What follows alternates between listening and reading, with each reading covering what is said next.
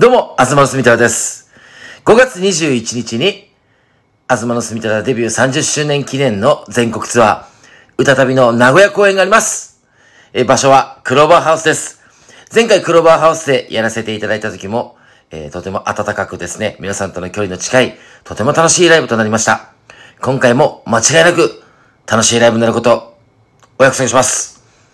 ぜひ、遊びに来てください。待ってます。